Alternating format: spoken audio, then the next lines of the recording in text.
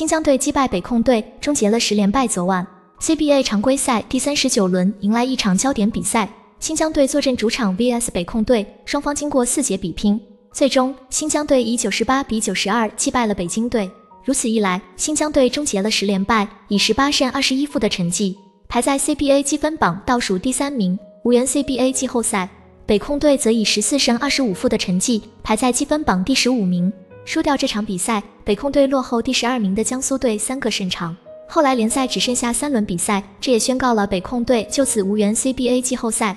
这也是北控队连续三个赛季无缘 CBA 季后赛。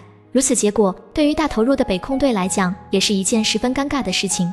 从本场比赛来看，两队在开始打得比较焦灼，比分一直是紧咬着。到首节比赛打完，新疆队以十九比十五领先北控队四分。第二节比赛，两队进攻效率都有所提升，不过新疆队的进攻效率更高。随着比赛深入，新疆队建立了十分以上的领先优势。到上半场比赛结束，新疆队以五十八比四十五领先北控队十三分。下半场一边再战，北控队利用内外结合，多点开花，不断缩小双方的差距。随着张帆外线命中，双方分差来到只有四分。随后新疆队调整了过来，通过一波得分小高潮，又扩大到了领先优势。第三节比赛结束，新疆队以七十七比七十领先对手七分。末节比赛，北控队通过一波小高潮，将分差缩短到只有两分。接下来，两队进入了白热化的争夺。最后时候，新疆队抓住机会，以七分的优势胜出，笑到了最后。邱彪在这么漂亮的球馆比赛，很感动。输掉这场比赛，对于北控队来讲，也是一种解脱，因为从这一刻开始，他们就不用为季后赛门票考虑了。大家接下来可以平静的心态去打球队。在赛后，北控队主教练马布里也是肯定了球队表现。他认为球员在比赛中都很拼，也是很努力。大家知道这是一场硬仗，大家都是全力以赴。对于新疆队而言，这场比赛同样是解脱，因为新疆队此前缺席了七场比赛，被 CBA 公司判罚为零分，这导致新疆队无缘 CBA 季后赛。不过，在此前新疆队已经遭到了十连败，这对球队而言也是一件非常尴尬的事。这场比赛也是新疆队本赛季第一个主场比赛。能够拿下这场比赛，全队上下都是十分开心，十分兴奋。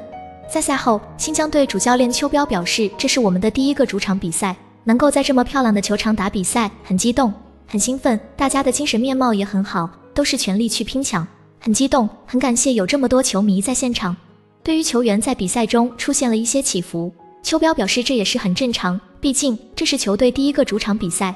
新疆队主力球员阿布都沙拉木在赛后也表示，能够这么多球迷前来，真的是感觉很幸福。其实，在第三节比赛的时候，自己已经是抽筋了，但后面一直都是坚持在比赛，每一次抢篮板球都是跳到了最高点。毫无疑问，阿布都沙拉木为了球队能够取得世拼了。不得不说，这场比赛对于新疆队而言是一个新的起点，让球迷见证了新疆队依然与大家同行。CBA 第一魔鬼主场。近八年只输了三场比赛。值得一提的是，新疆队在主场拿下这场比赛，也是创造了 CBA 近八年来最佳主场战绩。在近八年，新疆队在主场一共打了八十一场比赛，取得了七十八胜三负的战绩，胜率达到了百分之九十六点三。这样的战绩，就连广东队和辽宁队也是自愧不如。不得不说，新疆队在主场比赛几乎就是一个无敌的状态。毫无疑问，新疆队主场就是 CBA 第一魔鬼主场。随着 CBA 联赛现在恢复主客场，那么新疆队这个神奇的战绩，相信也会继续保持下去。他们将会继续去书写 CBA 魔鬼主场。注：两千零一十五比二零一六赛季，新疆队的主场战绩为十九胜零负；两千零一十六比二零一七赛季，新疆队的主场战绩为十八胜一负；两千零一十七比二零一八赛季，新疆队的主场战绩为十八胜一负；两千零一十八比二零一九赛季，新疆队的主场战绩为二十二胜一负。今天的节目就到这。如果您喜欢我们的节目，欢迎点击右下角订阅、收藏不迷路。